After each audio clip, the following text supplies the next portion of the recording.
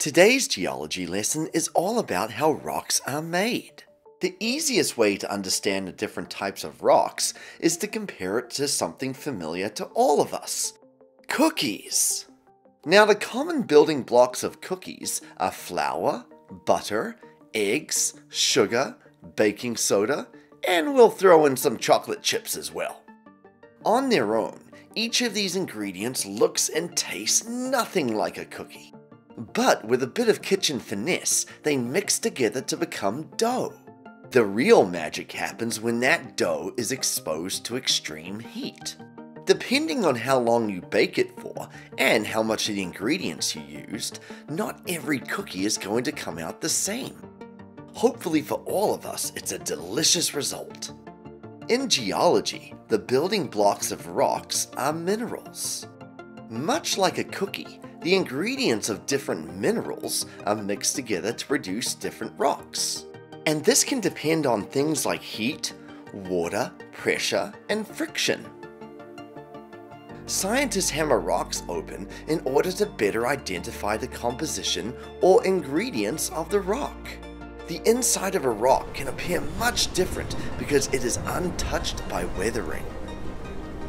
Mineralogist or mineral scientist can identify the minerals within the rocks by observing characteristics such as crystal size, shape, the pattern it breaks in when hammered, which is called cleavage, and hardness. Scientists often classify rocks according to how they are formed. There are many kinds of rocks, but they are all formed in only one of three ways. I like to use the term rocks in my socks to remember the three ways. They are igneous, metamorphic, and sedimentary. Or rocks in my socks. Let's start with igneous rocks. Igneous rocks are formed by extreme heat when magma cools above or below the Earth's crust. Some igneous rocks that we see around us are granite and obsidian. Next, we have metamorphic rocks. Metamorphic rocks are made deep in the earth and are formed by changes due to heat and pressure over a long period of time. Gneiss and marble are examples of metamorphic rocks. Lastly, we have sedimentary rocks. Sedimentary rocks are formed by small pieces of sediment that are transported to water and over time are cemented into rock by pressure. Sedimentary rocks include coal, sandstone, and shale. Now, all rocks are moving through a process called the rock cycle. The rock cycle is constantly occurring, and rocks can change over long periods of geologic time. Geologic time are cycles of the Earth's history over hundreds of millions of years. With the rock cycle, rocks can change from one type to another. Through such forces as weathering, erosion, compaction, melting, heat, pressure, cooling, and even crystallization. There's so much change constantly happening within the fascinating world of rocks. So let's review what we have just learned. First, just like cookies have different ingredients that come together, rocks are composed of different types of minerals that come together. This can depend on things like heat, water, pressure, and friction. Second, mineralogist or mineral scientist can identify minerals by observing things like size, shape, the pattern it breaks in when hammered, and hardness. Third, there are three ways that rocks are formed igneous, metamorphic, and sedimentary.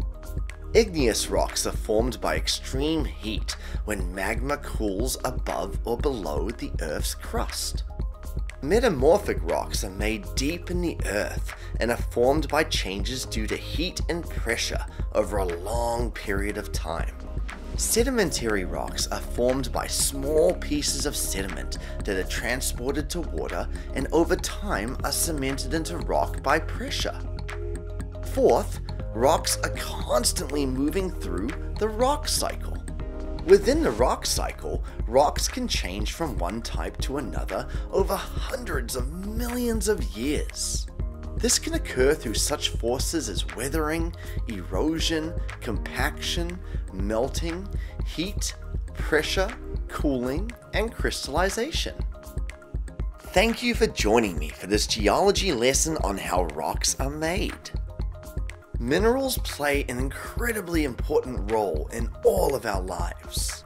But remember that minerals are a non renewable resource.